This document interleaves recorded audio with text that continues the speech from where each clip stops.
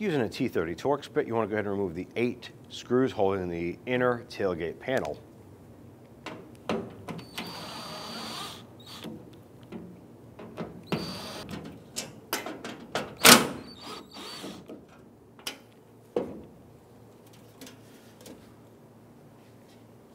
I'm going to be using a pair of needle nose pliers to go ahead and release these retainer clips off the rods.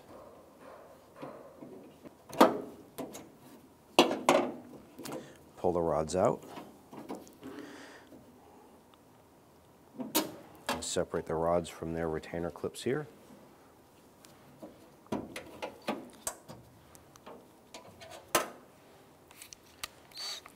Using a 10 millimeter socket and extension, we're going to go ahead and remove this bolt, this bolt right here.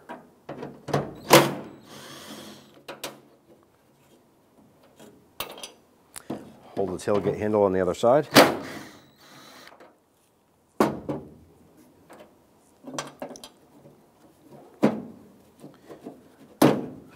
And pull that out. I want to go ahead and remove our lock cylinder here. So on the back side, there is a retainer clip that kind of spring loads down below. I'm to use our pick, to get underneath. I'm just going to try and pull that clip out.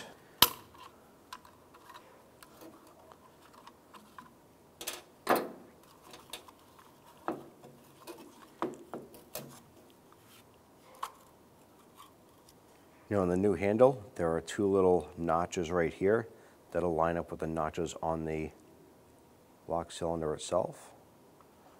Drop that down into place, make sure that that pin lines up here.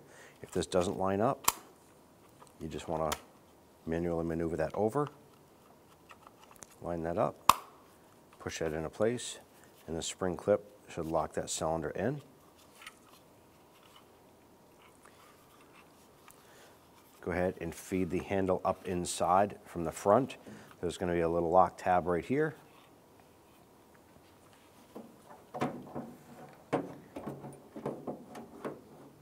Along the bottom part of the handle itself, you want to make sure these little tabs lock on to the tailgate itself.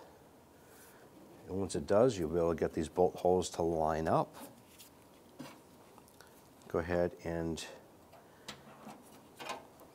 Get your 10 millimeter bolt started by hand.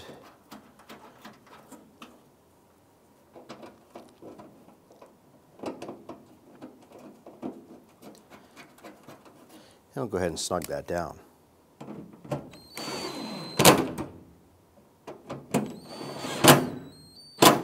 Now install your rod, put the clip on.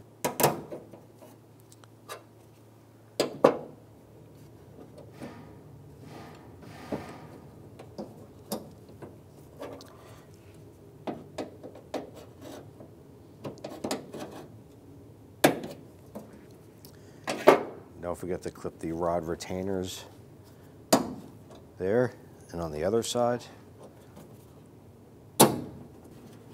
Install the rear cover. I'm going to start each of these by hand. Once you have all these in, go ahead and snug them down.